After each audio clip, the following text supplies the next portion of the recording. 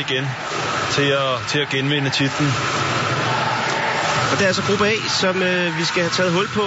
Gruppe A, som øh, ja, vi skal til reglerne op. Der er seks nationer med i hver gruppe. De fire bedste, de kvalificerer sig direkte til kvartfinalerne, som jo er noget nyt. Der er ikke noget øh, mellemspil. Og øh, dermed øh, skal de altså teames op med øh, gruppe B.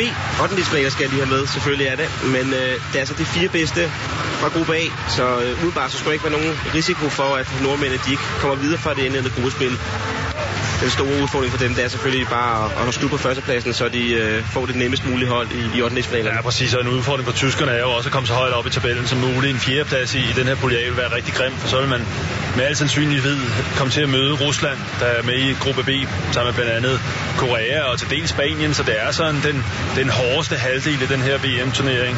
Gruppe A og B består af, og, og, og Tyskland har været lidt nervøse for, for udsigterne selv. De kunne med et, ja, et hederligt gruppespil ryge ind i den rigtig, rigtig stærke modstander i 8. delsfinalen, og derfor har svært ved at komme blandt de otte bedste. Ja, netop Spanien, den transmitterer vi øh, direkte senere i aften her på kanalen. Øh, Spanien imod Holland kan du se frem til. Men først skal vi altså have overstået nordmændenes første kamp her. Får vi lige øh, deres islandske landstræner Tordia Hegiasson, som efterhånden er blevet 47 år gammel. Og øh, var altså med til at vinde øh, EM-guld i 2010 og VM øh, bronze i 2009. Det er kroatisk dommer Due, som leder slagets gang. Bubica og Milosevic.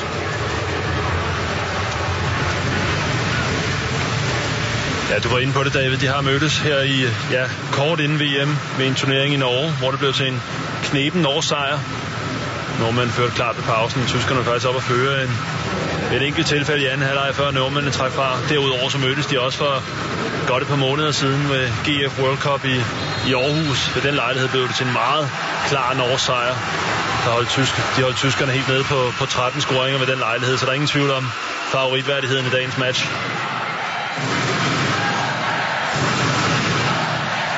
Ja, vi så tyskerne øh, senest imod øh, Danmark øh, her for ikke så lang tid siden, hvor de spillede uafgjort 22-22.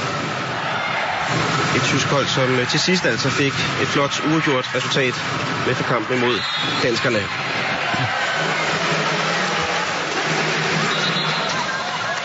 Og et tysk hold, som efter min mening har flyttet sig efter, de har fået dansk landstræner for knap et, år, et år siden.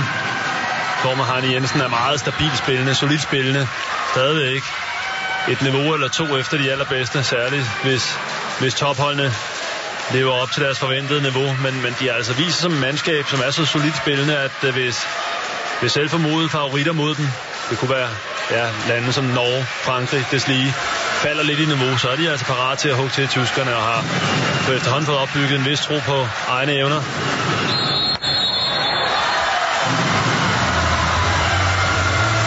To øh, opspilsfejl, en for hver nation, og så får vi øh, hul på gylden her.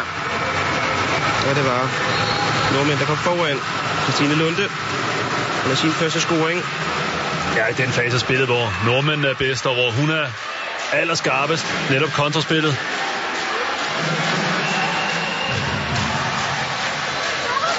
Og tyskerne starter Nadine Krause som playmaker. Ikke bytter lidt. Og også tysk udligning. Sabine Richter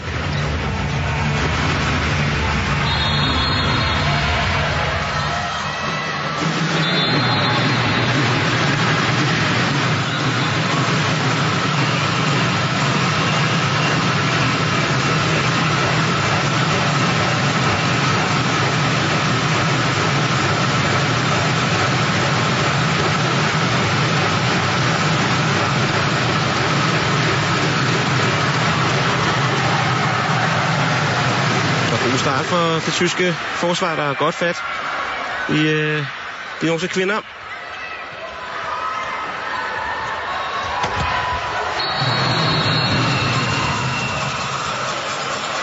Og det ender med tysk frikast.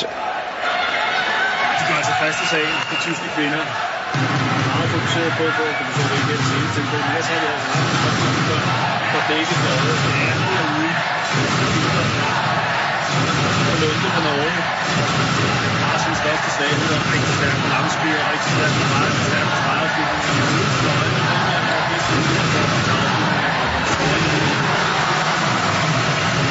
Og her brænder Sabrina Richter.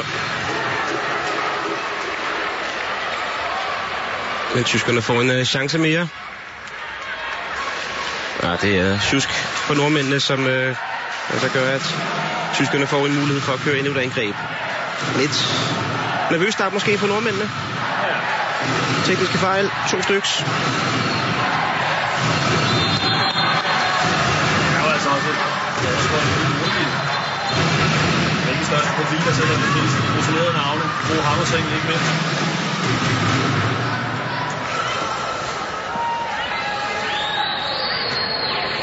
Vi vi er her. Ja, ja.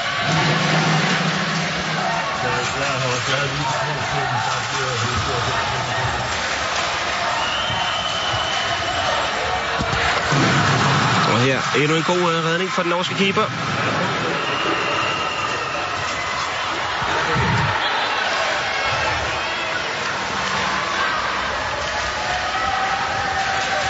Ja, fire minutter passeret. Ikke mange scoringer, vi har fået. Godt må man spille igen for Katrine Lunde Haraldsen, som er kommet godt i gang. To gode redninger for det norske målvogter.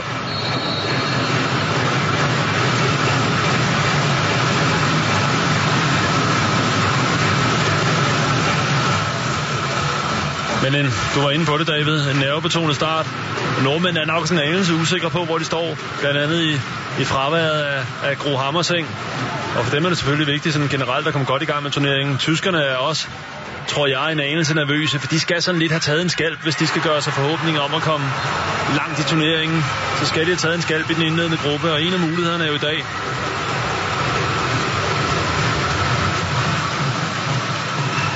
Anden scoring for Christine Lunde.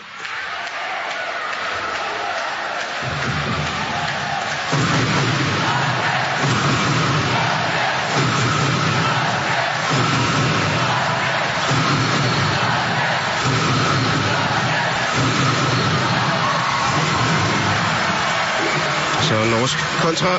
Første mulighed i den fase. Sikker udnyttelse fra nordmændene.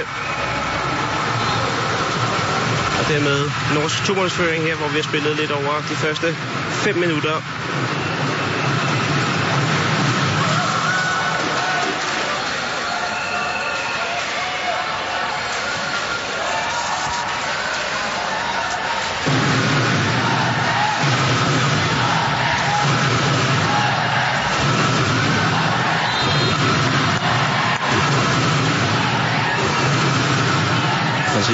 Mitzner. Han vil starte ude som øh, venstre bak. Der er stor respekt for hende i det norske forsvar. Langt frem at møde hende hver eneste gang, man kommer mod mål. Og barnevad den her omgang for Katrine Lunde.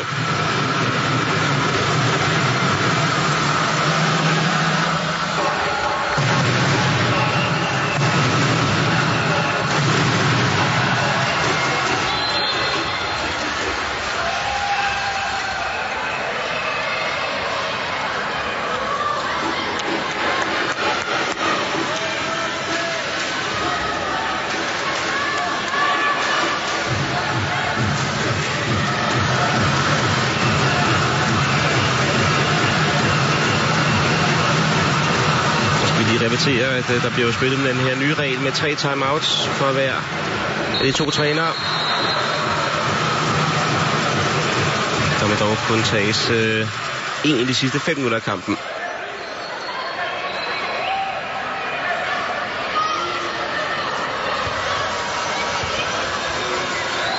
Isabel Klein, som får tilkæmpet sig straffekast. Sikker bliver det udnyttet af Mitzner.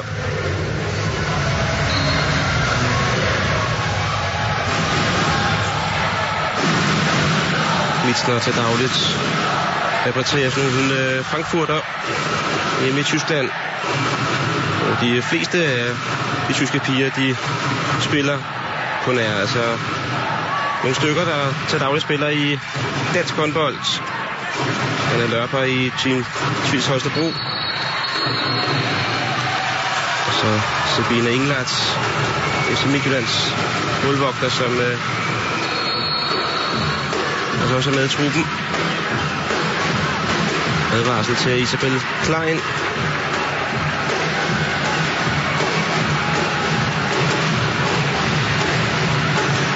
Nej, det der fase skal altså være skarpere tyskerne. Det er der, man har bedst mulighed mod nordmændene. Der dog skal siges også meget disciplineret til at løbe hjem, men vi kan se det allerede nu. De får det svært, tyskerne, mod det etablerede norske forsvar. Der skal nogle kontrascoringer ind på kontoen. Hvis ikke de skal ja, løbe tør for kræfter i bestræbelsen på at komme fri, eller komme til muligheder over for det etablerede forsvarsspil hos nordmændene. Øh, fik de endnu en kontra scoring fra Fjord med sin første.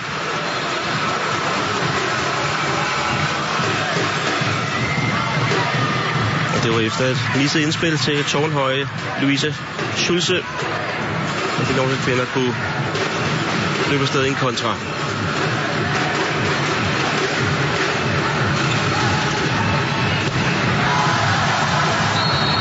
Og det er så der altså forrygende derinde. Lunde Haraldsen. Det er de færreste keeper, der kommer sejrigt ud af duellerne med Mitsner, når hun får frit skud ude bagfra. Og så gør tvillingesøster arbejdet færdigt i den anden ende. Så scoring. Fremragende finte her. Arbejder sig fri af store Louise Schulze. De virker i topform, de to Lunde-søstre.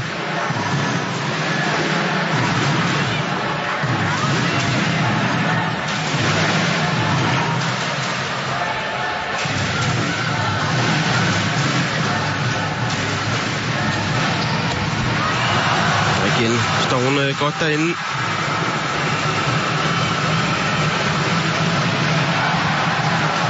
Og Eva Svejler, så kan det gå hurtigt den anden vej. Det ser ud til, at uh, tyskerne spiller videre, selvom der er en norsk spiller, der ligger i halvgulvet. Det gør vi. Ja, hun slår sig Breivang fuldstændig uforberedt på at løbe ind i, i Mitsner.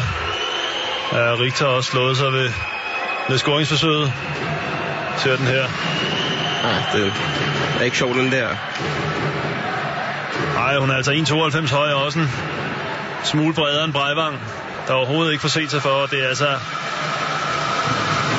Ja, det ligner sådan næsen, der ryger ind i brystbenet nærmest.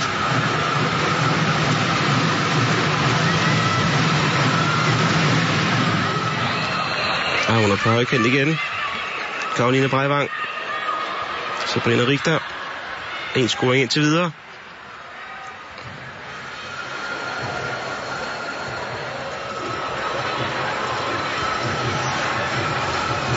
Og så Maj Mitsner over for Katrine Lunde Harlsen. Og anden gang hun passerer den norske målvogter.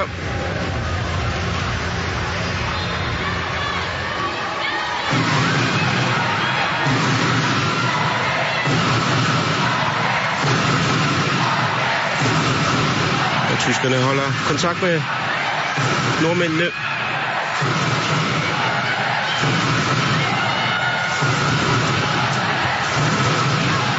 Snoræggen inde på playmaker-positionen for Norge.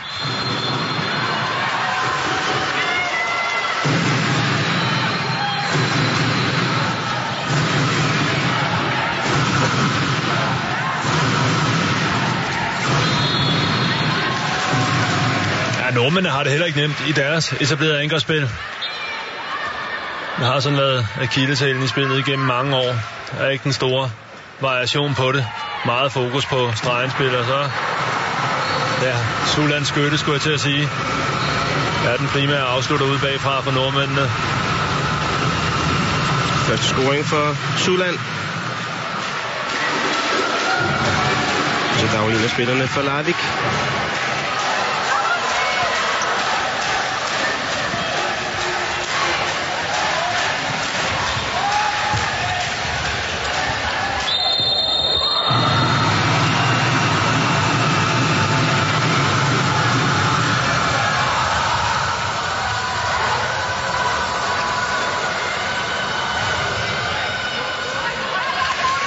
Kommer på plads.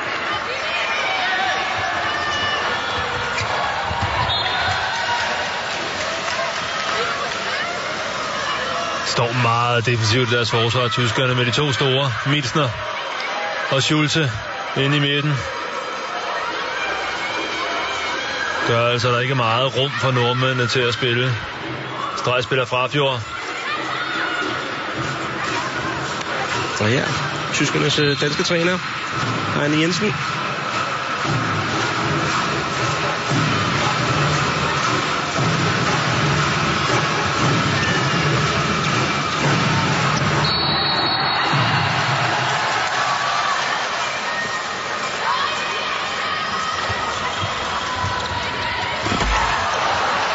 Og den ene opstander er på tyskernes side.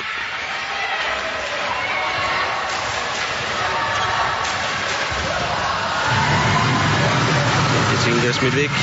Norsk kontra. Og sikkert udnyttet. Firemålsføring nu. Og det er jo forskellen på de, de to hold indtil videre. Det er evnen til at komme afsted og være effektiv i, i kontraspillet. Det går betragteligt hurtigere for nordmændenes vedkommende, end det gør for tyskernes. Men ellers har vi jo set to mandskaber, der begge har, har det svært i det etablerede angrebsspil. Første afslutning for Kai Mette Johansen. Og første mål.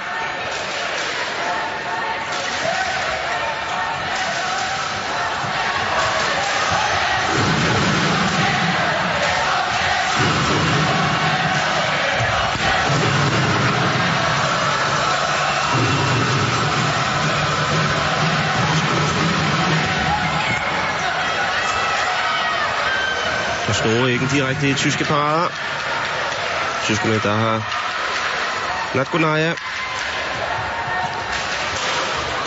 Fortyringer, og så Fight lock. Og første tyske scoring i lang tid.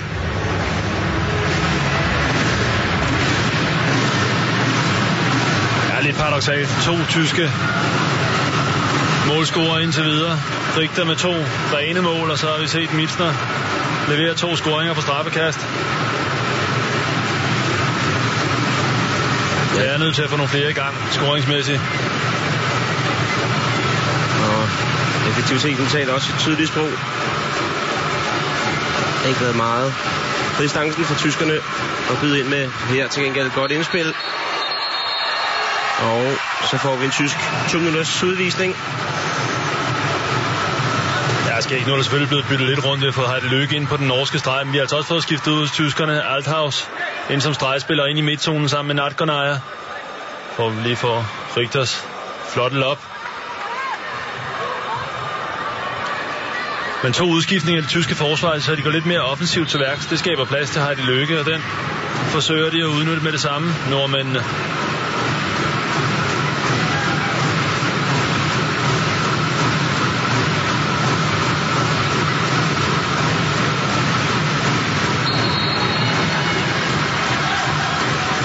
Lave. har de lykke. Og så er det altså lidt uheldigt, at hun ikke kommer afsted første gang. Sabrina Richter. Det er godt forsvarsspil. Og tyskernes højre fløj. Jeg er rigtig dygtig til at læse det fra ja, positionen som fløj. Og så løber op og stjæle afleveringer, der kommer mod baksene.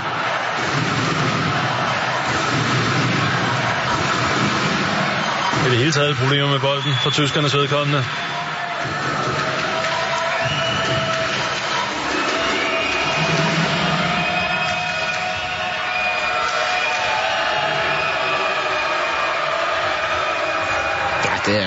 Rigtig godt. Brudt igennem.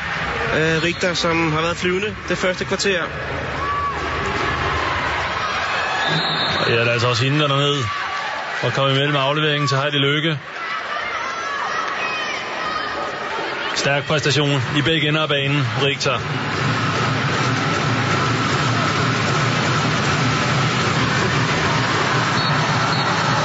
Og til gengæld også kraftfuldt. Der har de lykke. som så også bliver liggende på det brasilianske halvgulv.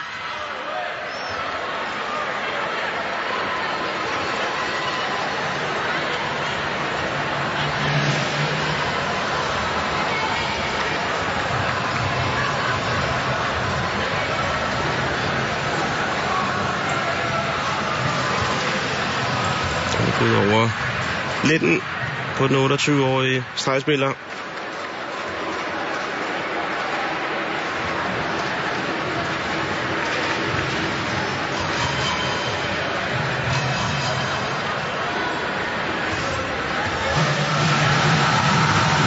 Selvfølgelig spiller, de øh, sætter deres øh, lid til. De norske kvinder har været en, øh, en vigtig faktor i det norske succes de senere år. Ja, faktisk er det jo sådan, når det norske spil går i stå, så kan man sige, at der er én ting, der bliver forsøgt mere end noget andet. Det er altså indspillene til Heidi Løkke. Nu køber man så ikke så meget om, der står en og et par modstandere rundt omkring hende. Hun er ofte i stand til at vride sig fri og skal bare have fat i kuglen.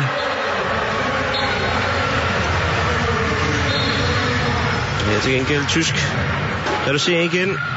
Og de kommer faktisk rigtig godt ud af undertalsperioden.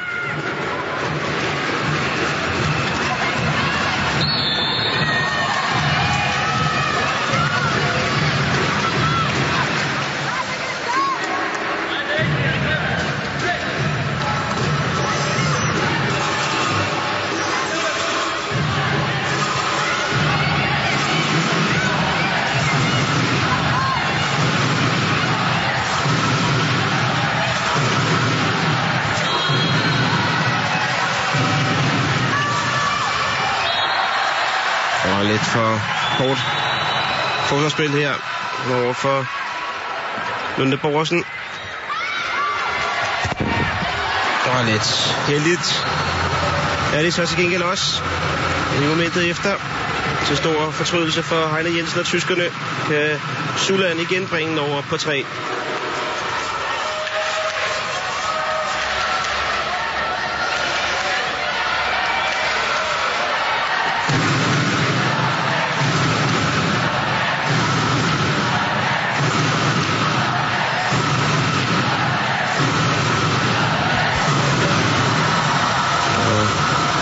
tre. Gunaya med en afbrænder. Og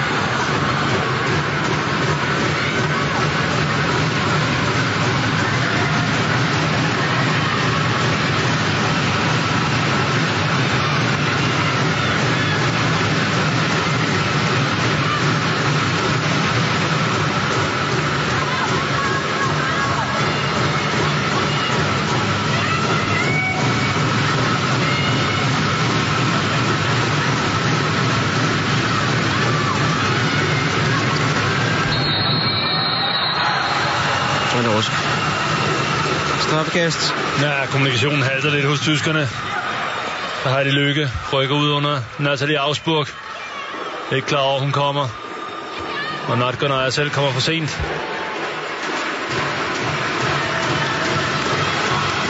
Og Lin Suland. Sikker udnyttelse af hende. Første norske straffekast scoring. Ja, og ikke fordi man klandrer Sabine England for ikke at få fingrene i den, men, men FCM, FC Midtjylland keeper har der ikke været helt op på det niveau, vi ellers har set hende i forskellige matcher for, for Midtjylland hed til sæsonen. Knap, knap 19 minutter spillet. Og nordmændene foran med fire. For første gang. Men der er kommet noget mere fart i de tyske angrebsspil. Og forhold altså. sig ja, flere og flere gange splittet nordmændenes defensiv.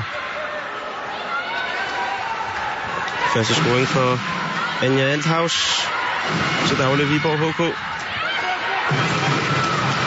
Og så forsøger de at komme afsted, tyskerne, men øh, ikke præcision nok.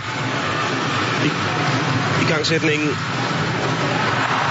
Og det bliver straffet den anden vej. Breivang med sin første scoring.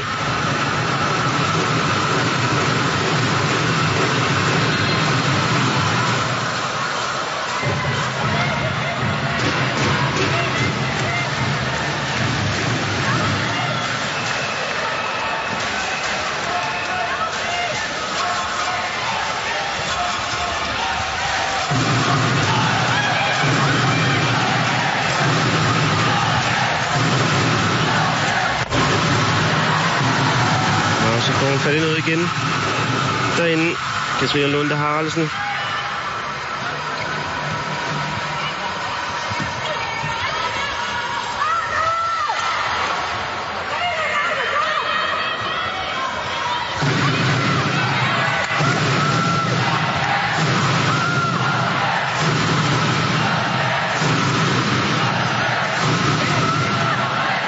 fået rundet de første 20 minutter. Jeppe lidt bedre kønne norsk mandskab i forhold til indledning, hvor de altså virkede lidt nervøse.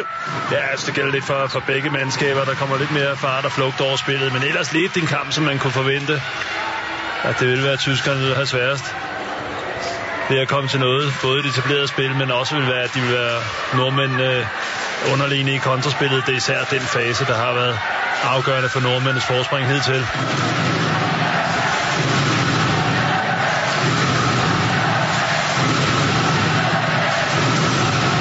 For os som ser, at tempoet er kommet op. Det bliver en noget kønnere håndboldkamp. Alene på den baggrund. Og så får vi øh, en norsk advarsel. Ja, nordmænd har godt gang i, haft godt gang i udskiftningerne allerede. Det gør altså, at det ikke helt er styr på forsvarsopstillingerne og opgaverne. Det koster straffekast. Nakunaja. Og ny øh, norsk målvogter, men det hjælper ikke rigtigt på det. Nakunaja udnytter sit straffekast. Og ikke de store muligheder for Grimsby, som altså afløste Lunde Haraldsen.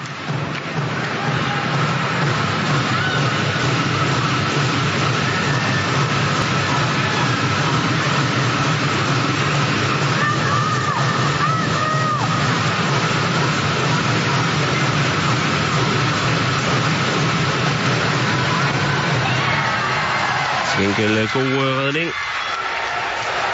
Og så har jeg altså mulighed for at komme op og få kontakt med nordmændene igen. Og scoringen tæller ikke for Melbæk.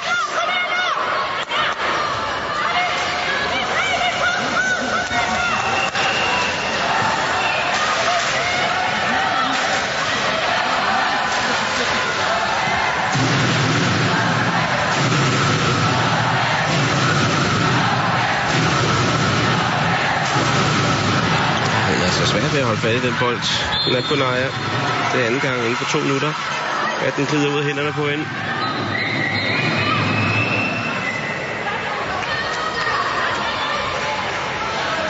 Afskuer har vi ikke set meget til i første halvleg indtil videre.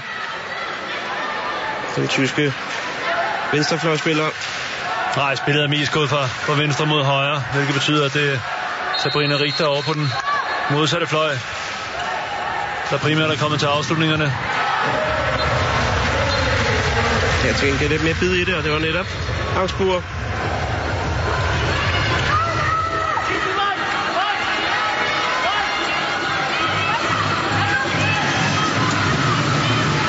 Og Melbæk. Stefanie Melbæk var det så. Ja, vi har set både Melbæk og også for nogle angreb siden Natkonaja med, med såkaldt løbeskud over for Lunde Haraldsen, og det er ikke nødvendigvis nogen dårlig idé. Man kan få lov at komme tæt på den norske forsvar, så skyde lidt, lidt rytmisk over for den norske keeper.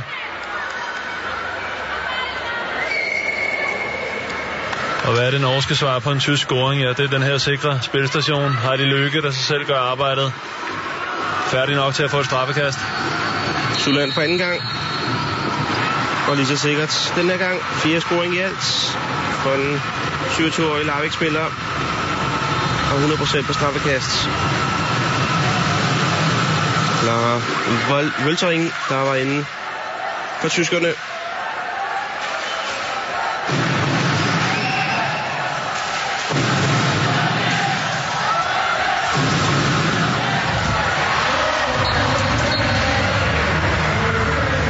Endnu en tysk scoring.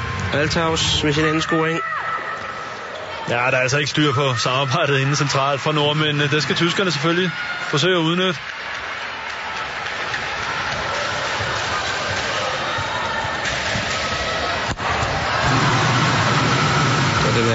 Ikke helt ved det. Stephanie Melbæk.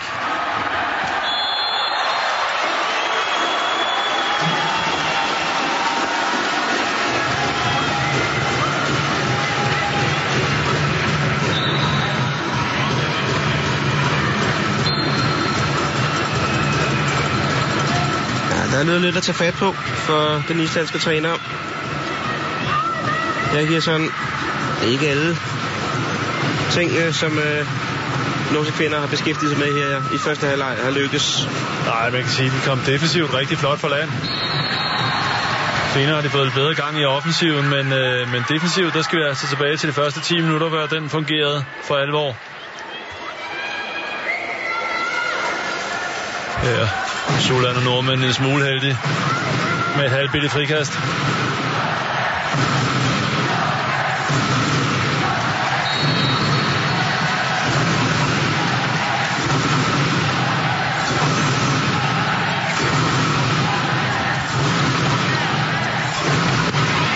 Den her gang, der får Redning lov til at stå for Voltering.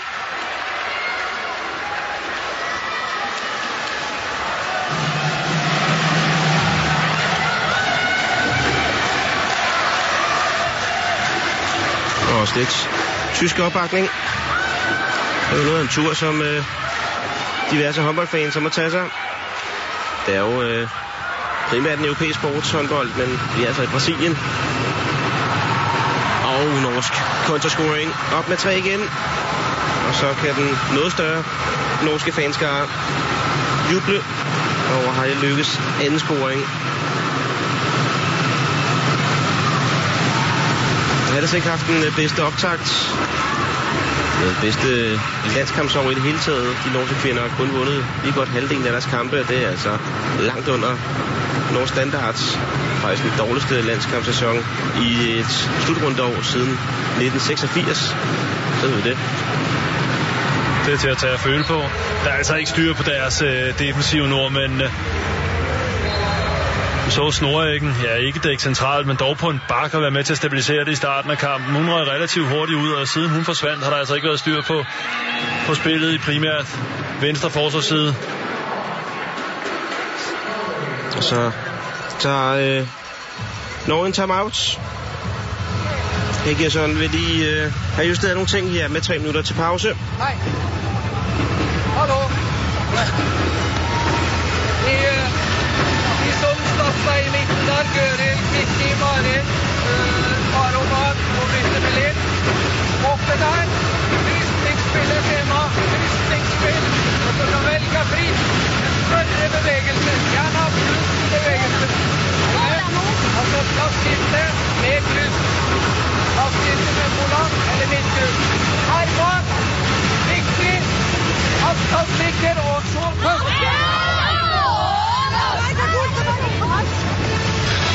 Får en lite grann plassere, lite grann, og så der.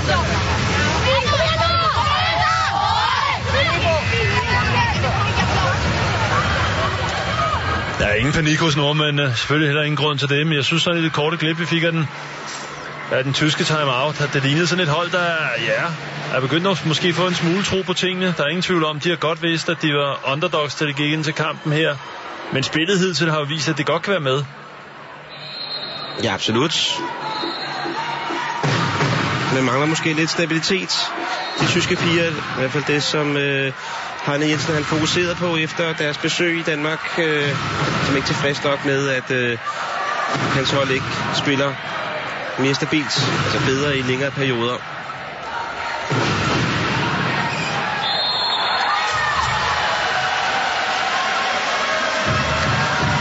Det er til gengæld et godt defensivt arbejde over for Frafjord.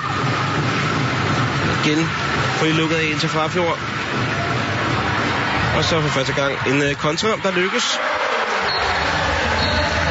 Og selvfølgelig Sabrina Richter, som har været flyvende her i første halvleg. Og så i øh, bundet med enkelt mål bagefter tyskerne. Ja,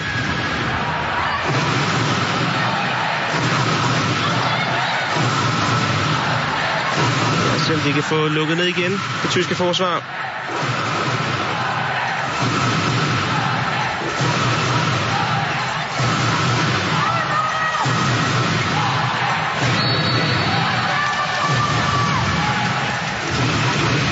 Lykke i samtale med landstræneren.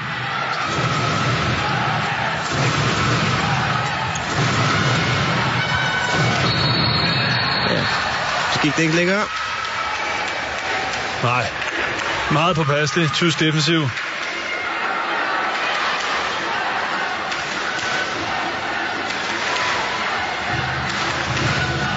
Der er lidt mere bevægelige rent forsvarsmæssigt, end de var indledningsvis i kampen. Det giver selvfølgelig nogle huller til stregspillerne, men samtidig får de konstant brudt den norske angrebsrytme.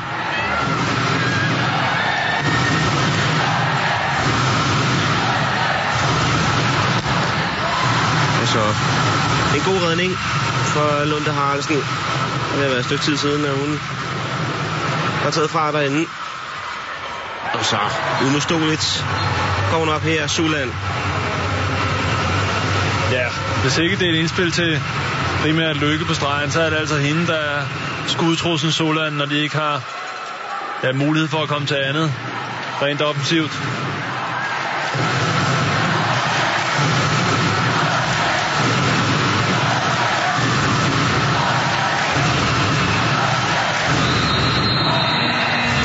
Får en uh, tysk timeout her på deres formentlig sidste angreb. Ja, et af delmålene er med garanti, at de gerne vil undgå en, en norsk kontrascoring i ansigtet. Og gerne sikre sig, at der kun bliver et enkelt angreb, kunne jeg forestille mig, Heine Jensen. Dann keine Feiern, keine Jubel, einfach heim. Die kommen mit schnelle Mitte. Und dann schnell umdrehen, bereit vorne Kreis zu kommen. Und mitschieben, mitschieben, mitschieben. Okay, komm, komm. Plass ned i linjen, linjen på side 16 nå.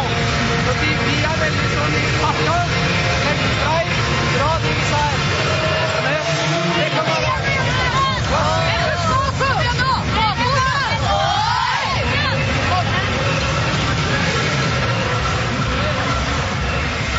Ja, så skal vi altså have de sidste godt så vel 40 sekunder afgjort i den første halvleg, som er blevet noget mere jævnbyrdigt, tror jeg, nordmændene havde håbet på. Det var en meget sjov lille detalje, som om jeg lige kunne forstå det, at man ikke har noget jubel, hvis de fik scoret her, for de kommer hurtigt den anden vej. Ja. ja. kvinder. Spørgsmålet er også, om tyskerne får lov af dommerne at angribe, til der kun er få sekunder tilbage. Det er godt, det sådan ud. Noget tyde de på det nu her med frikastet. Præcis. Beder dig om at time afslutningen. Den kommer her. Hun får en uh, mulighed mere, Richter. Men hun er så skarp derinde. Og så en tredje. Og men sanden, om de ikke får reduceret alligevel tyskerne. Og så endte det med perfekt timing. Det var perfekt timing. Det er tre sekunder igen. Fik de afsluttet for aller sidste gang. Og dermed kan vi sige, at den her kamp den er relativt åben. Ja, den lever jo i, i den grad, og det er da tyskerne, der kan gå ned i omklædningsrummet, tror jeg, sådan med den bedste smag i munden, og har leveret sådan den for sig selv største positive overraskelse, mens nordmændene helt sikkert ja, er lidt overrasket over den store modstand, som tyskerne er kommet med, så der tegner en fantastisk spændende anden halvleg. Lad det være ordene. Så holder vi lige en uh, kort pause her fra det brasilianske fra Arena i uh, Santos. Og så vender vi uh, frygteligt tilbage med anden halvleg om uh, et lille kvarters tid.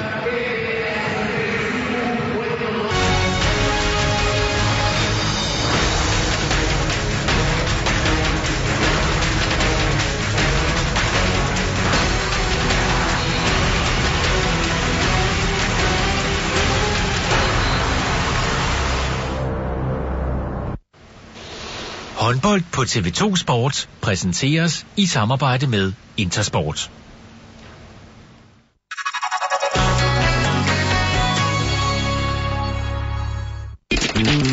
Whiteaway.com. Hvidevarer på nettet. Hos Whiteaway har vi masser af tilfredse kunder og altid plads til flere, som vil have billige hvidevarer med prisgaranti. Komfur fra Bosch i energiklasse A. Kun 2.995 inklusiv fri levering. Whiteaway.com. Ej, ved du hvad, så skal vi ikke sige noget andet? Giv det nu lige en chance. Det, det er 2040. Det er mit yndlingsår. Nå, okay, ja, så skal jeg bare se her til pynt. Er det er der vist ingen risiko for. Nej! Det er sådan noget, der bare gør ondt, den der der. Kan I heller ikke blive enige om, hvad I skal se, så skift til Wow 3 med stor tv-pakke og på Wow Web TV derhjemme på både computer og iPad. Oveni får du telefoni og fiberbredbånd kun 399 per måned de første tre måneder. Se om du kan få Wow på wow.dk eller hos dit lokale energiselskab. Wow, fremtiden fås nu. Hvorfor ser vi egentlig det her reality-lort? Vi ser det, fordi vi godt kan lide at se andre, der er til grin. Andre, der er pinlige, overvægtige, eller bare taber. Altså, vi er jo ikke 100% perfekte, vel? Men det er vi jo, set i forhold til dem, der er totalt kikset. Vi ser det, fordi det er godt for os. Hos Fullrate siger vi det som det er. Få 8 megabit bredbånd og 22 tv-kanaler til 2,99 per måned de første 6 måneder. Du sparer over 1000 kroner. Fullrate. High speed. Low cost. Why compromise when you can have it all? New Brown Series 3 Wet and Dry. Smooth on skin, tough on beards. Gentlemen, start your engines. New Series 3. Only from Brown. Captain, vi the power!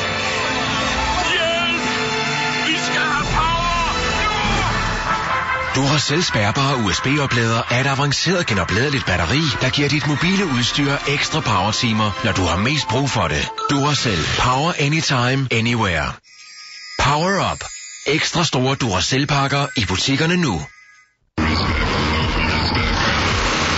Den nye HTC Sensation XL med Beats Audio er en smartphone, der flytter grænserne på flere måder. Med en imponerende skærm på hele 4,7 tommer har vi flyttet grænsen for skærmens Vi har også flyttet grænsen, når det handler om lyd. HTC Sensation XL er født med Beats Audio, der giver dig suveræn god lyd. Selvom vi har flyttet grænserne for både skærm og lyd, så ligger den godt i hånden. Oplev HTC Sensation XL i din telebutik eller på htcxl.dk. Hej med jer. To Big Tasty Bacon menuer. I kunne ikke tænke jer at prøve en ny Big Tasty variant? Big Spicy Pepper med Tabasco sauce. Hvis du aldrig prøver noget nyt, sker der ikke noget nyt.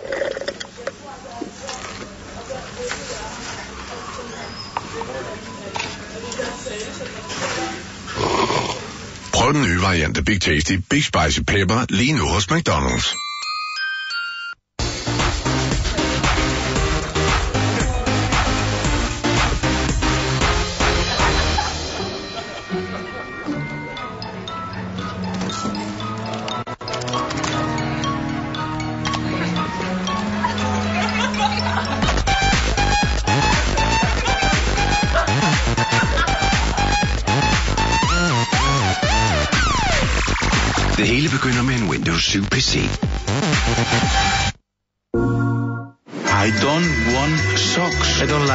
Sweaters. What am I going to do with the puppy? What is this? All I want for Christmas is the ball. The ball. The ball. Yes! Merry Christmas, Rooney. FIFA 12. Køb det nu. Den perfekte julegave. EA Sports. Oplysning til seerne om bokser. I dag skal vi tale lidt om antenner og tv-kanalen TV2. Hvis du ser tv med antenne, mister du nemlig TV2 efter nytår. Med mindre du får bokser. Med mindre du får bokser. Efter nytår får du TV2 med i alle boksers pakker. Du kan også få TV2 alene. Lige nu kun 199 kroner for et helt år. Besøg din lokale forhandler.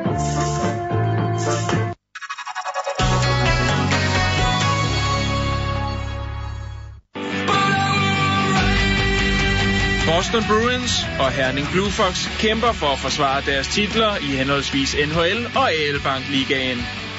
Vi følger begge ligaer hele vejen til finalerne. Så semesterlige mål, rasende gode redninger og forrygende fights fra begge sider af Atlanten direkte her på TV2 Sport, hele Danmarks ishockeykanal.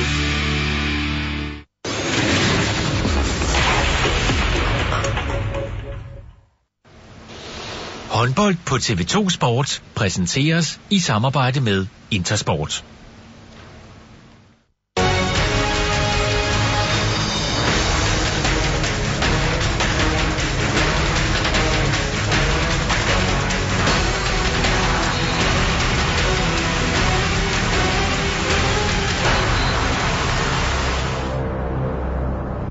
Ja, velkommen tilbage her til øh, håndboldhal i øh, Santos i Brasilien, hvor vi altså i pausen er opgøret mellem Norge og Tyskland, mens vi lige ser et par højdepunkter for første halvleg, som øh, Norge altså går til pause med en føring på blot et enkelt mål.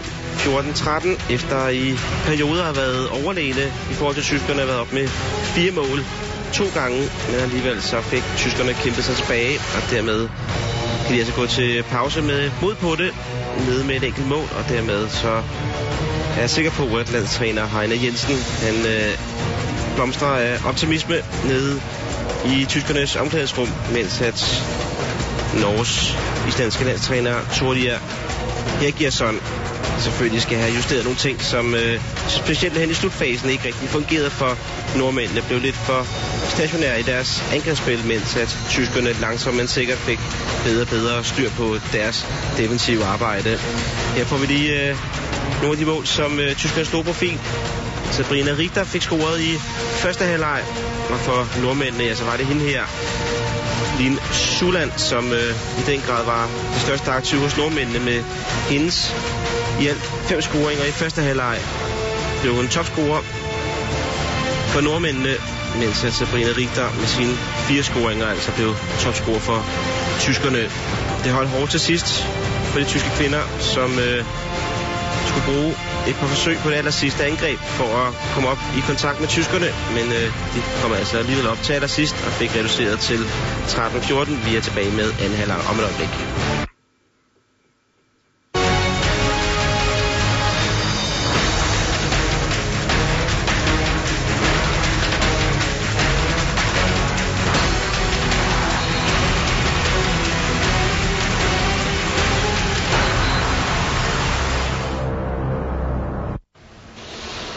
Håndbold på TV2 Sport præsenteres i samarbejde med Intersport.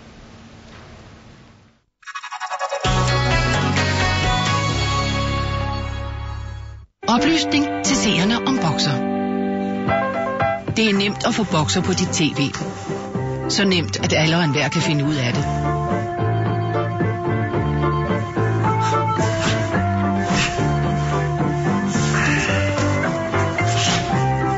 Bokserkunde og få for eksempel Boxer Mini for kun 49 kroner om måneden. Efter nytår indeholder den selvfølgelig også TV2.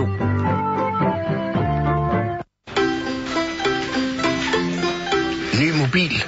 Jamen det skal du af, når ikke hvad du taler om. Min mobil fejler ikke en skid. Ej, hold kæft noget lort. Skal du også have opdateret den gamle mobil? Så vælg en Sony Ericsson Xperia Ray.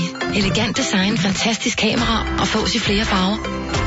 Få den for kun 99 kroner per måned. Se mere på Telmore.dk. I don't want socks. I don't like sweaters. What am I going to do with the puppy? What is this? All I want for Christmas is the ball. The ball. The ball. Yes! Merry Christmas, Ronnie. FIFA 12. Køb det nu. Den perfekte julegave. EA Sport. Telegram. Samsung Galaxy S2 er verdens måske bedste smartphone, og lige nu sparer du 798 kroner, når du køber den hos 3. Meld dig samtidig til 3 bonus, så bliver din næste smartphone også billigere. Køb den nu i Fona, i 3-butikken eller på 3.dk. 3. Et netværk til forskel. Hej med jer. To Big Tasty Bacon menuer. I kunne ikke tænke jer at prøve en ny Big Tasty variant. Big Spicy Pepper med Tabasco sauce. Hvis du aldrig prøver noget nyt, sker der ikke noget nyt.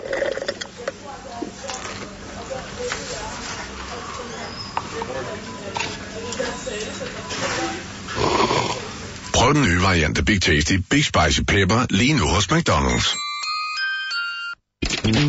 Whiteaway.com. Hvidevarer på nettet. På Twilaway har vi masser af tilfredse kunder og altid plads til flere, som vil have billige hvidevarer med prisgaranti. Komfur fra Bosch i energiklasse A. Kun 2.995 inklusiv fri levering. Whiteaway.com. Captain, vi mister power!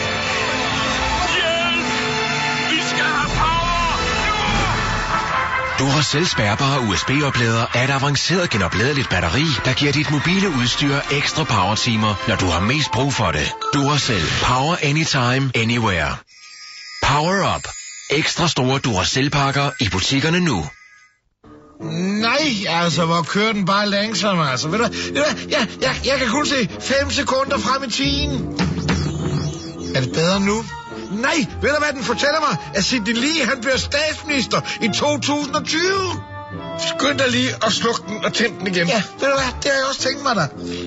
Kører nettet også langsomt hjemme hos dig? Med Wow 2 får du lynhurtigt fiberbredbånd med hastighedsgaranti. Lige nu får du 30-30 megabit og telefoni til kun 169 per måned de første 6 måneder. Se om du kan få Wow på wow.dk eller hos dit lokale energiselskab. Wow, fremtiden fås nu.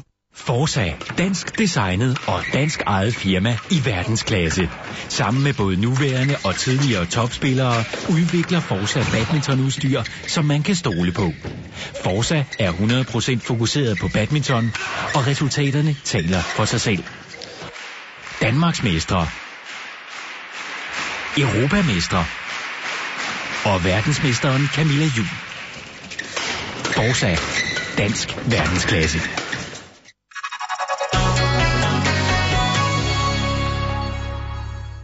December er måneden, hvor det hele bliver afgjort, lyder en god gammel NFL-kliché. Den kliché passer perfekt på Pittsburgh Steelers og Cincinnati Bengals, når de to AFC North-rivaler tørner sammen på Heinz Field på søndag.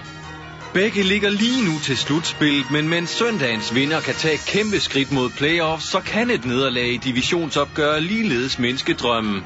Steelers mod Bengals direkte på TV2 Sport, søndag fra kl. 18.50.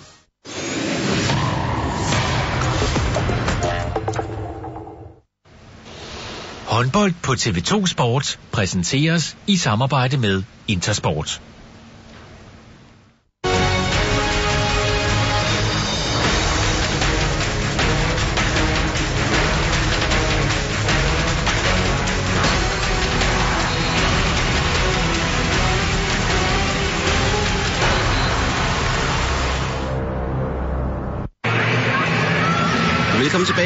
Til Santos til anden halvleg opgøret mellem Norge og Tyskland. Og det er altså en anden halvleg, der bliver sat i gang med en norsk etmålsføring, efter at Harald Jensens tropper har gjort det ganske fornuftigt. I hvert fald mod slutningen af første halvleg, efter at have været nede med fire mål, så er det altså kommet godt tilbage. Og selvfølgelig Jeppe, kommer de ud med rigtig god gejst her for anden halvleg start. Det gør de bestemt. Det er jo, det er jo ja, nærmest været bedre og bedre. Det har gået for tyskerne, som, øh, som første halvleg er skrevet frem, og jeg synes også, man har kunne se troen vokse frem i de, i de tyske piger. Jeg tror stadigvæk, det er nordmændenes præstation, der kommer til at afgøre, hvem trækker sejret ud af den her kamp. Men, men øh, vigtigst af alt, så har tyskerne fået, fået hul på den norske defensiv, og kan de fortsætte med det, uden at Norge får lappet hullet, så er det altså ikke umuligt, at vi kan få ja, overraskelse nummer to i den her gruppe. Ja, den her halv, for det var altså øh, tidligere i dag, at Island de øh, besejrede Montenegro overraskende med et enkelt mål. Og øh, det er altså øh, det, som øh, tyskerne selvfølgelig kan bruge som inspirationskilde. Intet er muligt for dem, der bærer vilje i hjertet. Og der engang en øh, klog mand, der sagde. Og lad os se, hvor langt det rækker for tyskerne her i anden halvleg, men øh, vi sidder også lidt og fornemmer, at nordmændene har et, øh, måske et ekstra gear at komme med. Ja, det er der, det er der ingen tvivl om, men, men, men det, der har været sådan lidt kritisabelt for nordmændene, er, at de, ja, der har været huller i deres defensiv. Deres forsvar har ikke fungeret. Kom ind i okay fra starten. Det var måske mere i øh, takket være et tysk angreb, der ja, var meget langsomt spillende. Jeg er sådan lidt bekymret for den norske midtzone, som, øh, som de ikke har fået til at fungere for alvor. Nu er det Frafjord og Christine Lunde, der får lov at dække de to træer, akkurat som de gjorde indledningsvis i kampen. Det undrer mig lidt, at man ikke har set Jørgen Snorækken, som nu er inde som venstre toer i forsvaret, dække træer sammen med Frafjord. Det er sådan i min bog på papiret den stærkeste træeropstilling for nordmændene. Og første afslutningen tager træværket for tyskerne.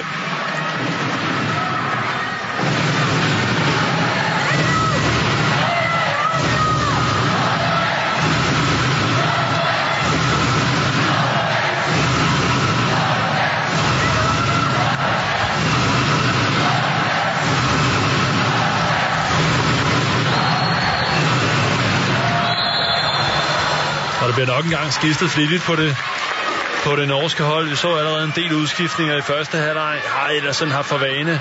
Her gør jeg sådan meget at spille med de samme, men, men er åbenbart bestemt sig for at gerne være mange spillere i, i gang her i turneringen. Nye spillere midt på i bagkæden, siger i Oftedal, og altså også på højre bak i form af Tony Nøstvold.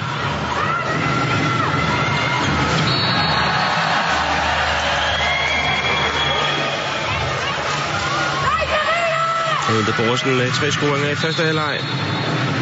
De nordmænd, der klarer sig bedst. Her bliver hun øh, den lille i duellen med Clara Voltering, som altså mod slutningen af første halvleg afløste Sabine Englert i tyskernes mål. Og så kom de op på 14-14. Og tendensen har jo været, både gennem slutningen af første halvleg, altså også her i starten af anden, at tyskerne sådan fornemmer og nemmere ved at spille sig til fornuftige scoringsmuligheder, mens nordmændene bliver mere og mere presset i deres offensiv. Altså første gang siden det femte minut, at tyskerne er på omgangshøjde med Norge. Når på 1-1 i starten af kampen. Og ikke siden da været op og tangere Norge. Ja, scoring for Nøstvold. Det er første.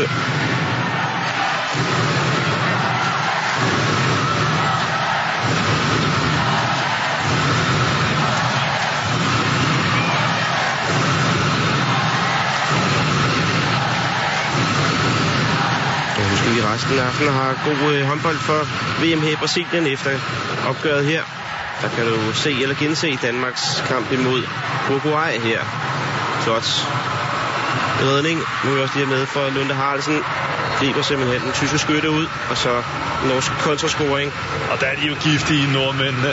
Ikke alene en redning af Lunde Haraldsen, men der er også en redning, hvor hun har bolden i hænderne med det samme, og så går det rigtig, rigtig stærkt. Det tyskerne i en lang periode har været gode til, det er, når de ikke er kommet til scoringer, så har det trods alt været afslutninger, hvor bolden er røget langt væk. Og Katrine Lunde skulle bruge noget tid på at hente den, inden de kunne sætte angreb i gang, nordmændene.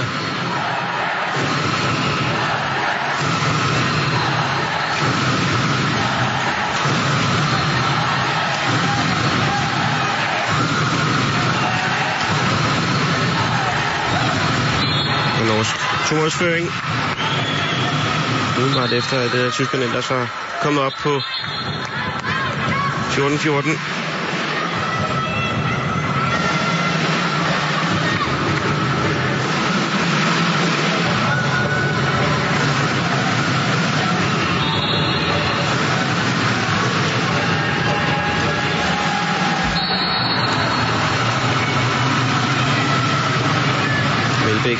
Blandet succes i første halvleg med sine afslutninger.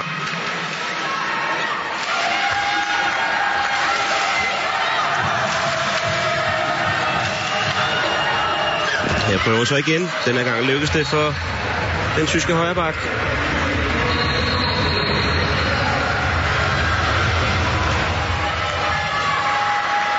Ja, jeg undrer mig altså fortsat over opstillingen norske forsvar med Snorækken som toer og, og Lunde Borgersen som træer. Der er imellem de to. Melbæk smutter.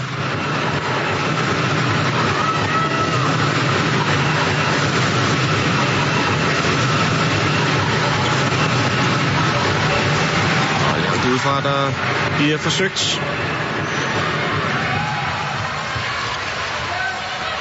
Og tyskerne har fået fat igen. Forsvarsmæssigt. Og også godt. Sender afsted til 16-16. Hun er sådan en, en rigtig u- uskolet type. Nat Gunaya. Ret aparte spiller. Kommer ind imellem til at se lidt akavet ud, men det, det bliver sådan nogle arytmiske afslutninger. Vi har set det være svært for Lunde Haraldsen et par gange.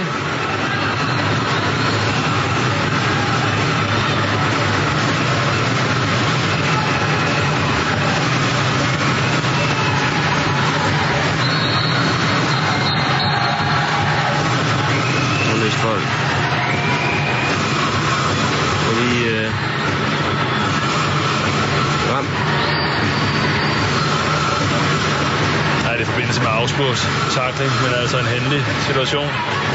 Derfor kan det godt gøre ondt.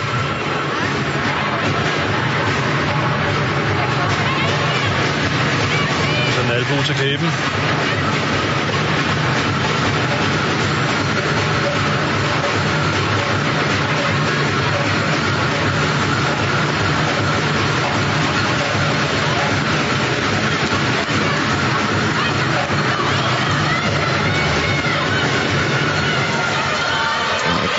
Det få sat forsætligt for Østfold.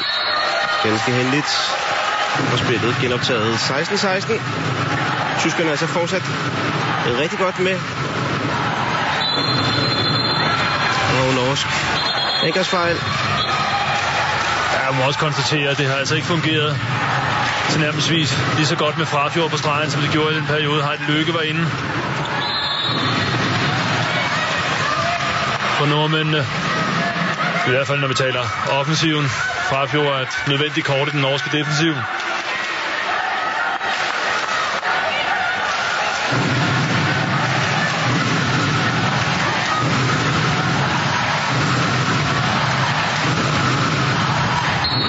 Og så får vi et tysk straffekast. Igen er der altså samarbejdsvanskeligheder mellem Lunde Borgersen og Snorækken. Ja, hvis det var mig, så ville jeg bytte rundt på de to.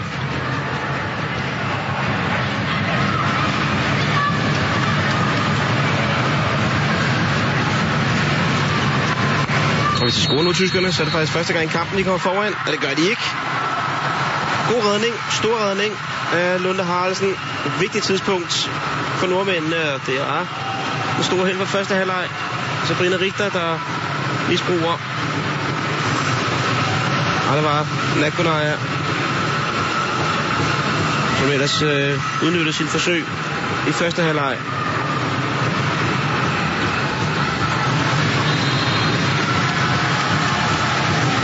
Altså, det sådan en, en, scoring, der godt kunne have rystet nordmændene lidt, tror jeg. Ja, et billede på, hvor meget Lotte Haraldsen betyder for nordmændene. Altså fantastisk at have derinde. Fyrer ofte de her redninger op, når der er aller, allermest behov for det.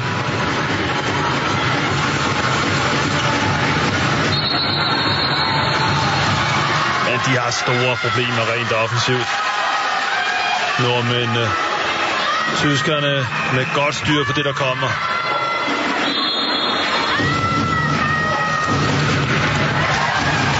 Så en kontra, som endt. Ja, Richter kan ikke komme afsted.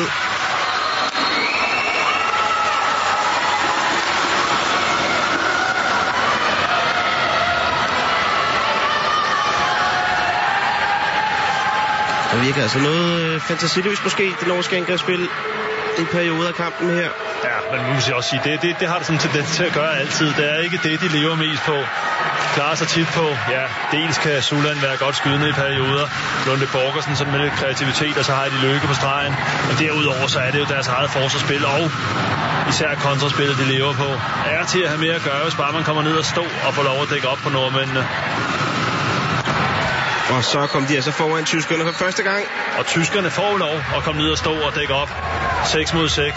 Netop fordi de selv er effektive angrebsmæssigt. Igen er det den tyske angrebsside, højre angrebsside, det vil sige den nor- venstre norske forsvarsside, der er problemer.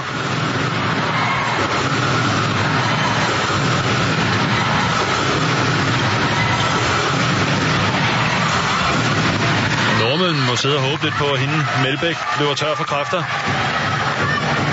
Ja, hun er trådt i kvarter her i anden halvleg.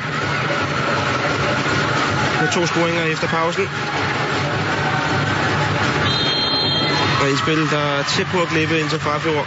Ja, og det er jo billedet på, på Frafjord og Lykke. Jeg synes, han er en dygtig stregspiller Frafjord. Man skal have lidt mere hjælp, skal spilles fri. Det der, det er sådan nogle bolde, som har de Lykke typisk får fat i, og så får kastet forsvarsspilleren af ryggen og kommet ind over, kommer ind over stregen.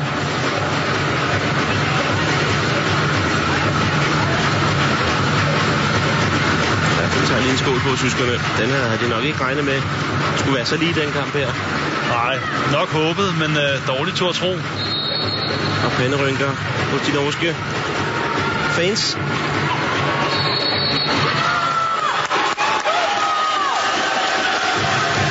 Og en gruppe, der kan altså blive vendt fuldstændig på hovedet. Det må man sige. Hvis øh, tyskerne også formår at overraske. Åh, oh, den er så tæt på, at hun arbejder derinde. Voldtering. Og så fik Farfjord scoret sin anden scoring i kampen. Og norsk udligning.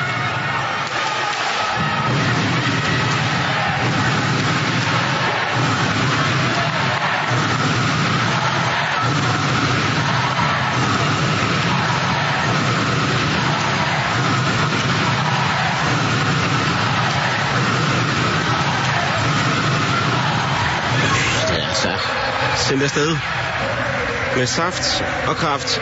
Ja, sådan fra tredje sals højde stiger op her paraderne, kan Katrine Lunde ikke bruge som noget, til noget som helst. Tidlig Norsk timeout. Ja, det var Franziska Mitzner, der fik sendt sit missil afsted.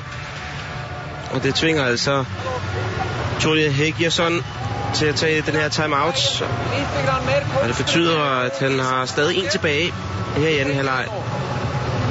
Så øh, nu er det altså, at der, der er mulighed for at justere for hans mandskab, der er kommet rigtig skævt ud her til anden halvleg. Hei. På de eh, øh, angrepene her, når vi har et kryss, kom bredt motsatt av krydset. Det er låvedøren bredt nå.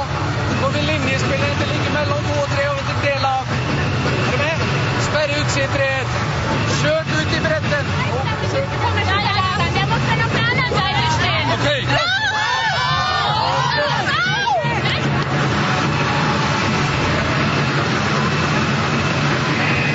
Der er vel ikke så mange ting, der skal justeres hos tyskerne. Og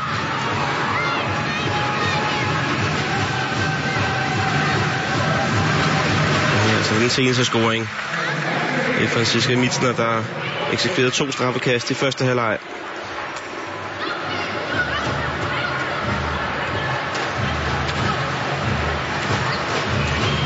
Der er stadig plads til smil på læberne for de norske spillere.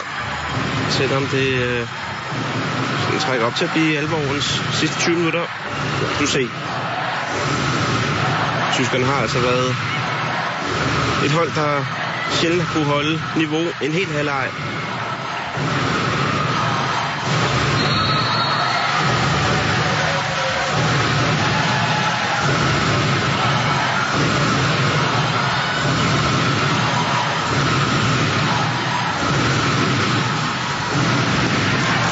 Okay, står hun godt derinde.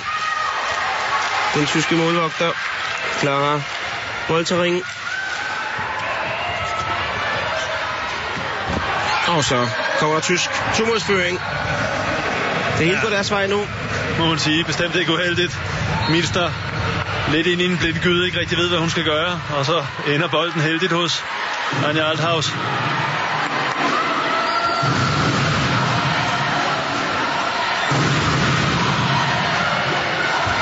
Nordmænd holder fat i i Stine Oftedal. Unge Stine Oftedal, som er spilstyrer. Hun har været hele anden halvleg.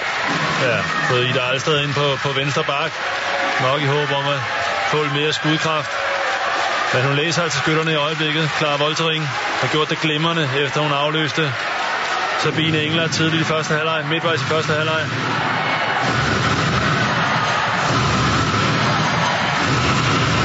Tyskerne nu med mulighed for at komme op med dramatiske tre mål, kan vi godt kalde det.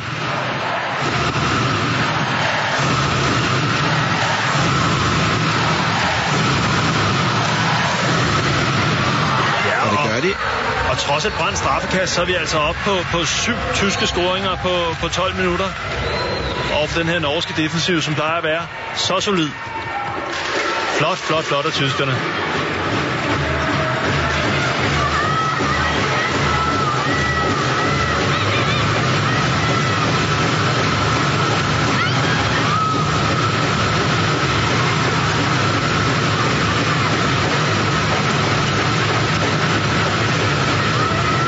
Bliver løbet på tværs i det norske angreb.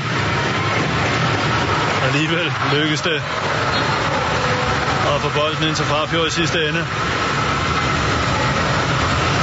Ja, altså stregspillet, der er det eneste, tyskerne sådan lige mangler at få sat en prop fuldstændig i. Det er også svært. Det er en stærk facet, og de har stadigvæk Heidi Lykke siddende ude på bænken til, ja, som en ekstra trumf. Det afgørende for nordmændene bliver, om de får stabiliseret defensiven.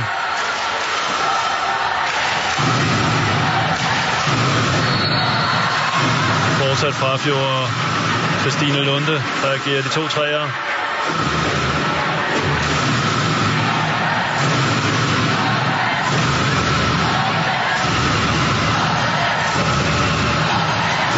Det er langt udefra. Hun sender afsted midt Mitzner. Ingen problemer. Den her gang for Lunde Harlesen.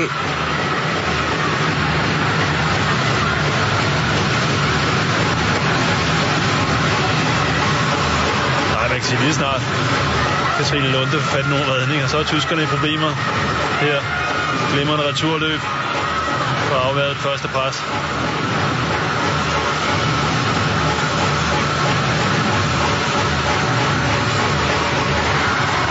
Og så kommer de altså helt op igen. Nordmændene, den her gang var det alle sted. I det alle sted. Med sin første scoring.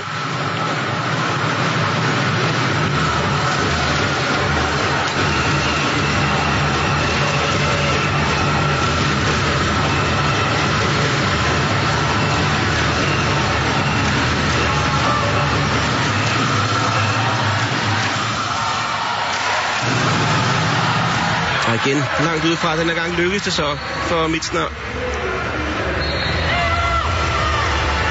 Hun rager så godt op. Ja, nu er der altså også problemer over den mod højre forsvarsside på nordmændene fra Fjorden Østhold. Ja, Østhold spiller, som de akkurat som Sulan typisk gerne vil have ud rent defensivt, men det er sådan en lang vej, hun skal løbe for højre bak. Så hende skifter man ikke. Tændte dernede, det tyske forsvar. Det er hver en eneste aktion, der bliver fejret som sejr dernede. Ja, de går konstant og bekræfter hinanden i, i det, de gør godt. Og der er overtrådt. Og der er der så ikke, men til brænder hun. Ikke meget, der går nordmændenes vej i den her fase.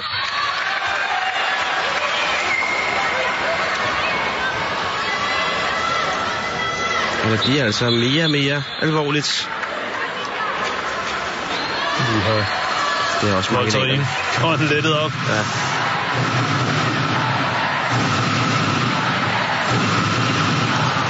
Det er altså en af de absolute favoritter til VM-titlen, der er i problemer her. Tre fjerdedel ind i kampen. Nede med to. Tyskerne har bolden. Og må det ikke, der snart bliver reageret ned for Hegiasson, der... Og det er altså et tysk hold, som røg ud af den indledende pulje ved EM i Danmark ved at kollapse i den sidste gruppekamp. Efterfølgende fik Heine Jensen ansvaret for holdet, og det er kun gået en vej efterfølgende. Stille og roligt nærmede sig topholdene, og det vil være en fantastisk skald for Heine Jensen, og han spiller en i dag. De sidder bedre og bedre. Skud med fra Mitsner. Ja, så tro på det for hende. Svedkommende. Højt til værs. Og svært for Katrine Lunde, som de jo har fået skudt hul på. Der er ikke mange hold, der lykkes med det. Redningsprocent på 34. Ikke fordi det i sig selv er katastrofalt, men det er altså under det niveau, hun plejer at ligge på. Igen ja. i tyske parader.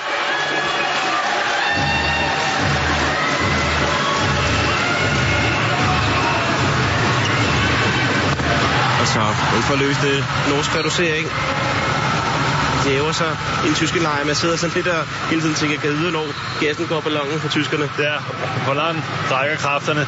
Og det skal jo også med. Der er skiftet lidt ud på venstre bak, men sådan efter det første kvarter, der Heine Jensen fandt den formation, der fungerede, så er det altså meget de samme spillere, der har, der har spillet siden. Og spørgsmålet er, hvor langt kræfterne rækker.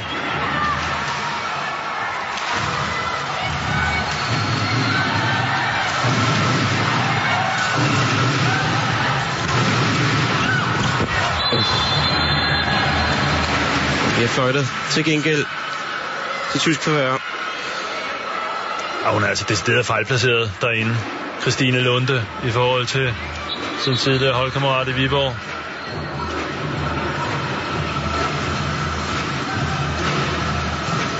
Anja Althaus. Uden en kæmpe indsats i begge ender. Viborgs stregspiller.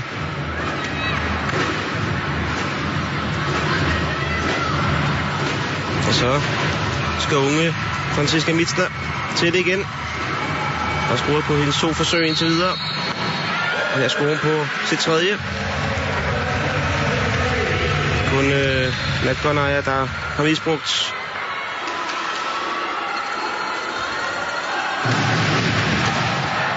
forsøger så med Grimsby igen på straffekastet.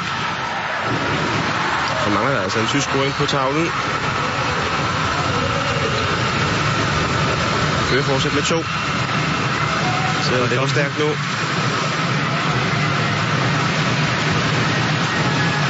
Det var Brevang, der fik reduceret for nordmændene en vigtig scoring, naturligvis.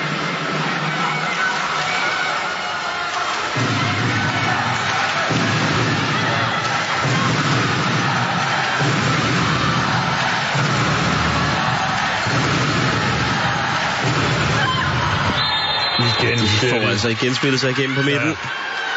Selvom har vi fået den forsvarsopstilling, jeg et eller andet sted har, har bedt om det meste af kampen, og ser som den stærkeste norske snorækken ind. Altså ikke nok til at bremse tyskerne i første omgang.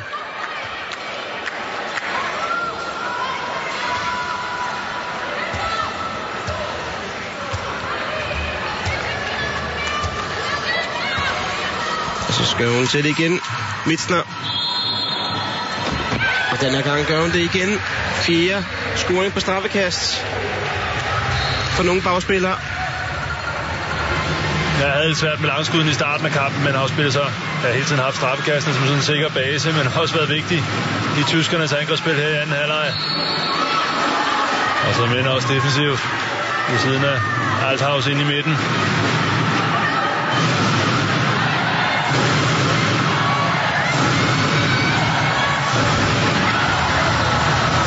Altså spidt flot ind af i det sted. Og det var så øh, Klein Mette Johansen. Der ikke kommet ind på venstrefløjen og holder liv i de norske forhåbninger. Der er god variation af det norske angrebsspil sidst på angreb. Både Breivang og Kai Mette Johansen lige får til afslutning.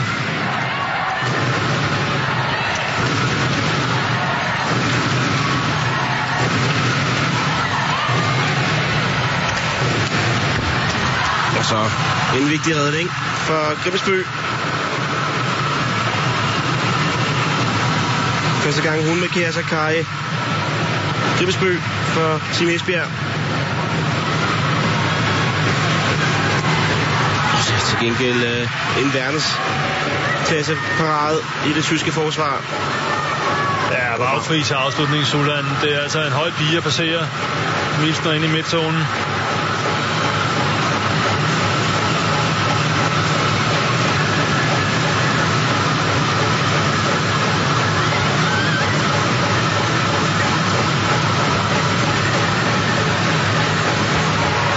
Så er det ned med en nu, nordmændene. Det virker ikke som et hold, der går i panik. Nej, det må man rose dem for.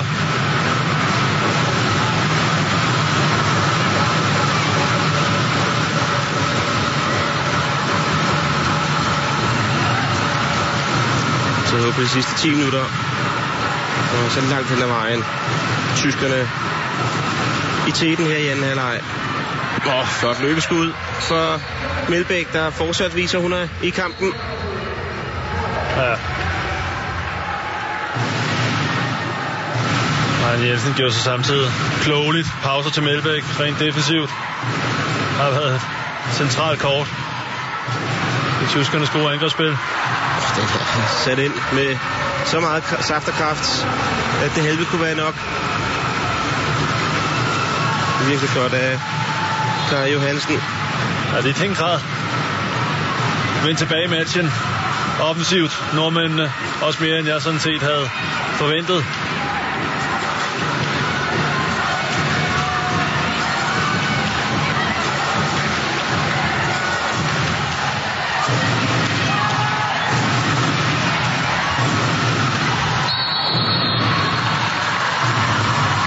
Så får de i det her angreb, tyskerne, men alligevel holder de fat, kæmper for hver en bold. Jeg ved godt, at de er på vej mod noget rigtig stort, de tyske kvinder her.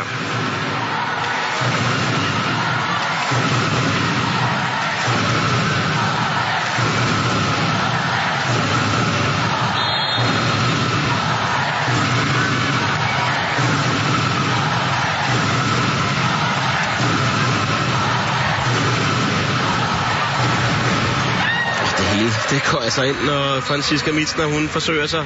Men, men det kan da ikke nytte noget, de står så defensivt på hende. Her bliver de presset lidt flade. Først skal Frafjord få taklet færdig, og hun er fremme ind i midtzonen.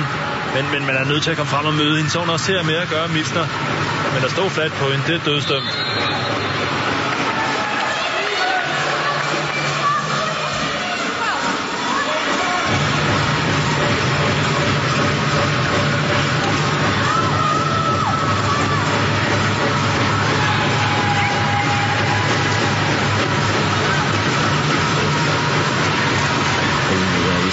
Nu, Norge, så burde det altså blive rigtig alvorligt. Meget, meget vigtigt angreb. Prøver at indspille til Frafjord.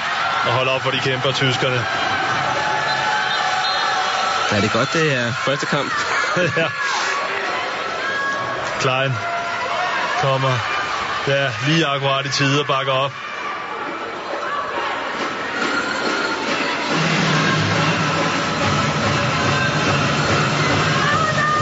Mitsners flotte parade på før, hvor Sutter egentlig var fri.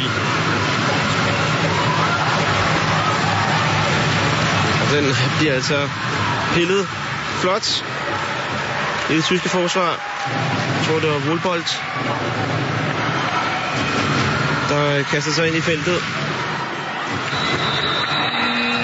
Og så får vi altså en øh, tysk timeout. Og klogeligt, at han gør det nu. Heine Jensen må øh, kun bruge en, når han er kommet ind i de sidste 5 minutter. Ja, han hun har altså- hold. Godt kan bruge et minuts pause. Og lidt ild ned i lungerne. Das ist wichtig jetzt, dass wir in Deckung immer wieder mitschieben. Wir, wir, dürfen uns nicht so weit auseinander tragen lassen. Die letzten Male haben sie versucht, den Pass direkt von Mitte bis zum Außen zu spielen. Das bedeutet Kerstin Herbstl ein bisschen defensiver da, aber dafür noch mehr mitschieben. Und Nathalie und Isi auf die halten. Jetzt eure Beine, eure Beine, Mitzi und Luisa jetzt in die Mitte. Beine, Beine, Beine. Okay, komm, komm.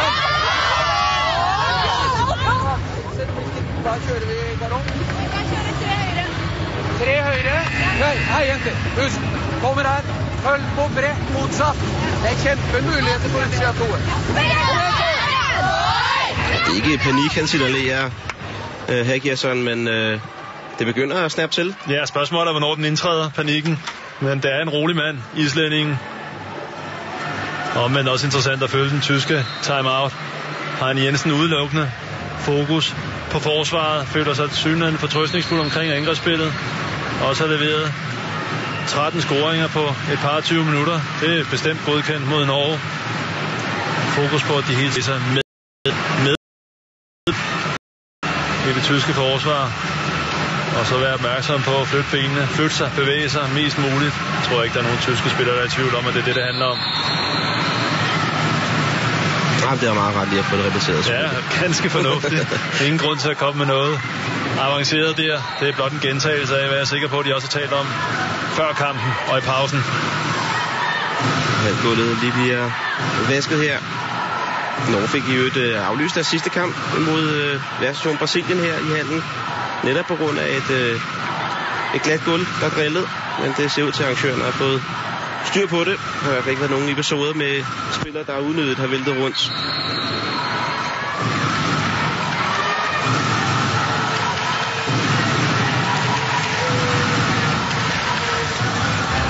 Ej, den øh, sniger sig ind til ny tysk tremålsføring. Og 6,5 minut igen, Jeppe. Hvad tror du?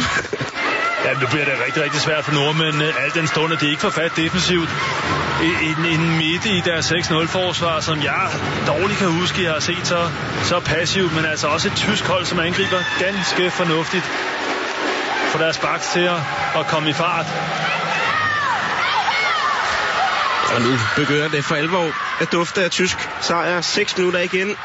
Men jeg, jeg tænker også, hvis vi kigger på det sidste, øh, ja, fra, fra efter der var spillet et kvarter og, og, og resten af kampen derefter, så er der jo ingen tvivl. Tyskerne har været bedst, og så kigger vi på anden halvleg isoleret, de har været klart bedst. Den firemålsføring, de har sådan inden for ja, de her 24 minutter spillet af anden halvleg, den er jo fuldstændig fortjent. Ikke noget at komme efter der. Men altså også et norsk mandskab, som ikke har været helt indstillet på, hvor det var. De skulle ja, koncentrere sig om. Jeg synes, Hergejersen har let efter angrebsopstillingerne, der skulle fungere. Det først her sent i kampen, han begynder egentlig at fokusere på forsvaret. Det har været recepten tidligere for nordmændene, når de har været i problemer, så er de fokuseret endnu mere på det, de er bedst til. Forsvaret og kontraspillet. Fordi tyskerne så nemt er kommet til gode afslutninger, så har de slet ikke på noget tidspunkt her, Han har fået gang i kontraspillet, og så vil Norge være i problemer næsten mod hvem som helst. Og så fik de altså også lige den store profil af første halvleg. Sabrina Richter i gang. Norsk svar med det samme. Mens vi lige så Richter scoring. Ja, paradoxalt nok for nordmænd er det jo nede i B-kæden, kan man sige, hvor det har fungeret angrebsmæssigt. Samarbejde mellem Breivang og Ida Alstad.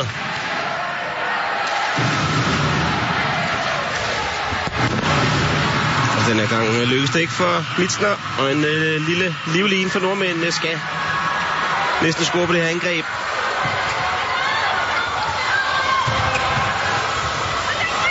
Og man sidder og spekulerer på, hvad der egentlig skete med Heidi Løkke, da hun stod ryggen i, i første halvleg. Det må være det, der er årsagen til, at hun ikke har været inde siden. Noget at gøre livet svært for tyskerne i den relativt korte periode, hun var på banen. Og har været savnet for nordmændene efterfølgende.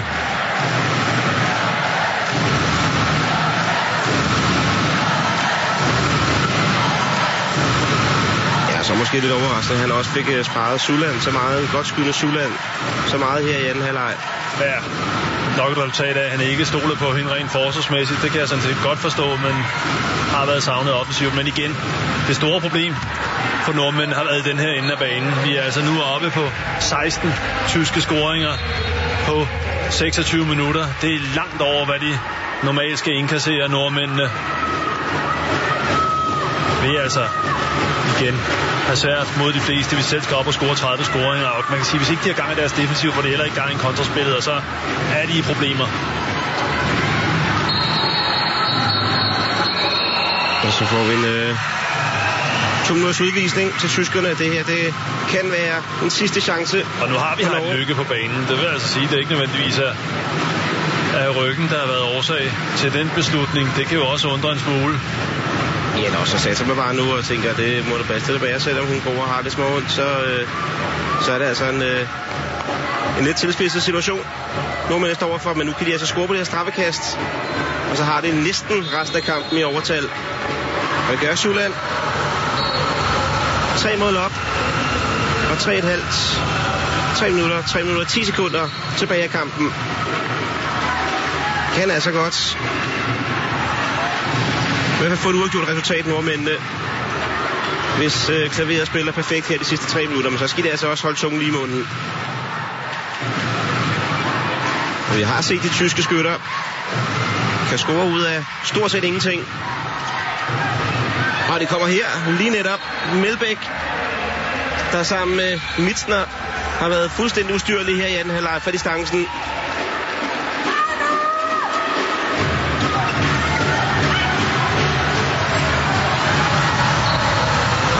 Norsk reducering. En. To og et halvt minut igen. Ja, det kan gå stærkt stadigvæk. Det kan det godt, ja. Hvis et par hurtige kontra til nordmændene.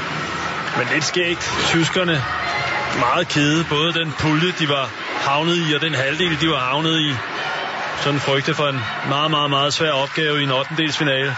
Nu er det den her situation, hvis det lykkes dem at besejre Norge, så har de altså en nøglekamp i morgen. Det har det sådan set uanset resultatet her mod Montenegro. Men med en sejr her, og, og hvis de kan gentage kunststykket i morgen mod Montenegro, så er de altså meget tæt på en førsteplads i, i den her gruppe A, og en, dermed en sandsynligvis overkommelig modstander i 8. finalen.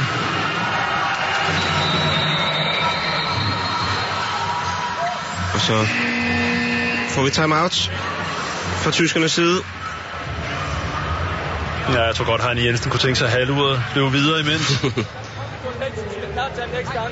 Jeg vil gerne øh, fokusere på det her undertalsangreb. Skal køres helt ud, tror jeg.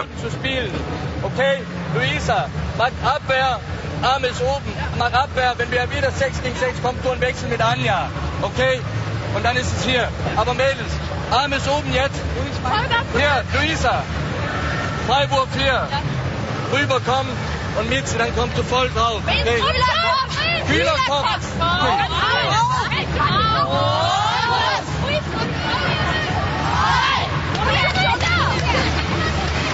Ja, det er noget af en opgave for de her norske kvinder nu, mens at de tyske piger, de virkelig fornemmer, at de er på vej mod VM-slutrundens, jeg ved ikke, er det største overraskelse, nu når Nej, Island også synes jeg allerede, Island har stået for. Det bliver svært at konkurrere med. Det, det, det, det vil ikke være en lige så stor overraskelse, men bestemt en, en øh, ja, hvor det første nærmest er en sensation, så er det her en rigtig, rigtig stor overraskelse.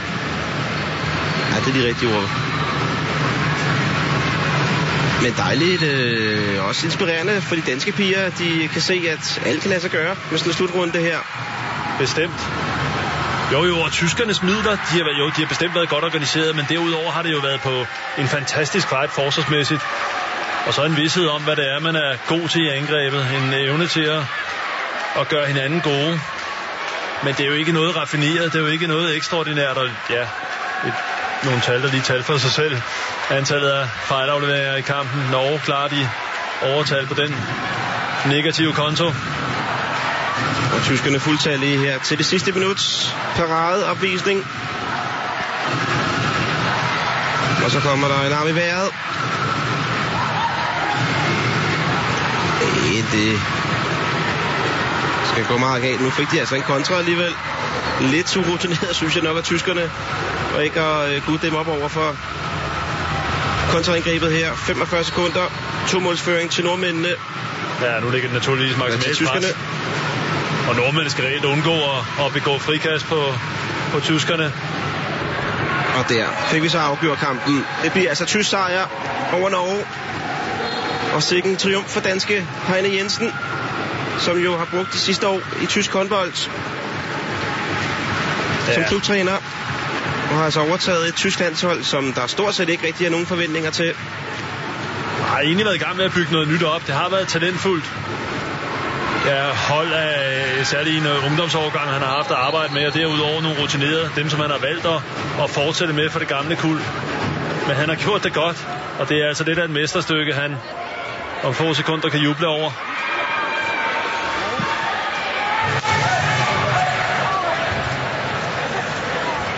Og får lige bolden i sådan en rekyl for overliggeren klar voldtring. Det kan godt gå galt. Det vil være en streg i regning for tyskerne.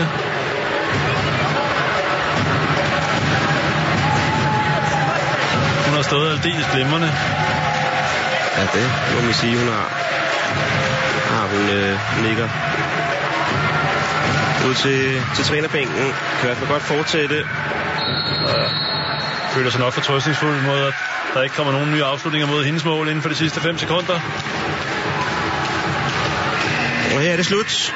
Det ender altså med en overraskende tysk sejr over de norske medfavoritter, kan vi godt kalde den, til VM-titel. Men jeg skal lige love for, at der bliver sat spørgsmålstegn ud for nordmændene efter den her præstation, mens at tyskerne lige pludselig ja, ikke melder sig i kampen om vinde VM, men i hvert fald øh, ser det ud til, at de øh, bare med den her sejr sikrer sig avancement. Ja, og giver sig selv rigtig godt udgangspunkt i forhold til det videre spil, der jo ligger øh, i, i, i næste uge igen. Og, og ja, det en fantastisk udgangspunkt for resten af turneringen for, for tyskernes vedkommende, der samtidig får vist, du var inde på det, får vist de andre, hvordan man skal angribe det her norske mandskab, og hvordan man skal pille pynten af dem.